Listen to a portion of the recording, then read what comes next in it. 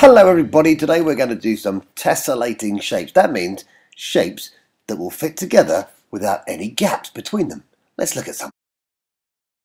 Let's start with a square. I love a square, nice easy sort of rectangle. Let's see if we can put lots of squares next to each other. Remember with no gaps. Oh, pretty good. Would you say a square was a tessellating shape? Absolutely. Let's give it a tick.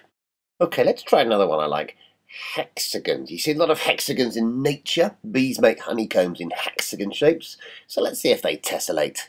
What do you think? Say yes or no to the person next to you. Have a guess. Okay, let's find out. Here we go. Here's a row of hexagons. Can we put another row in? Do they fit? And another row?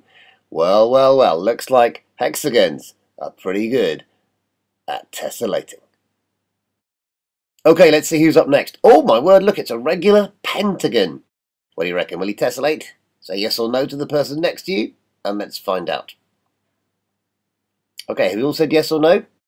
Okay, here comes another pentagon. Beautifully fitted. Another pentagon. Beautifully fitted. Here comes another. Oh, he can't get in. Oh no. So, regular pentagons don't tessellate. Who's up next? Ah, look, it looks like a triangle an isosceles triangle. That's a special one where two sides are the same. Let's let's see if they tessellate. What do you reckon? Say yes or no to the person next to you. Well, we're going to have to be a bit sneaky here and turn our next triangle upside down. And if we alternate them, you can see that triangles tessellate really well. In fact, it's not just isosceles triangles, all triangles tessellate really well.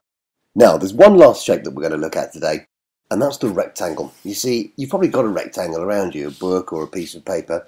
Have a look at these rectangles. You can see how quickly and easily they can tessellate. But we're going to take a rectangle and we're going to change it into an amazing shape. And this is your job. Here's how it works. Firstly, take a rectangle. Now, cut a piece off the right-hand end. All I've done is uh, take a diagonal line like this and just cut a piece off. And what you need to do is stick it onto the left-hand end. The next job is to cut a small piece, I've used a triangle here, out of the bottom and stick it on the top. Use some tape or some glue and just stick it on the top to make this very weird looking shape. Now, here's the really clever part. Now you need to get a big sheet of paper and put your shape on top of the big sheet of paper on the left and very carefully draw around it. Now slide it along and draw around it again and again and when you've filled up a row, do the second row. And why not do a third row? You see, you've created your very own tessellating shape, unlike anyone else's in the world. How amazing is that?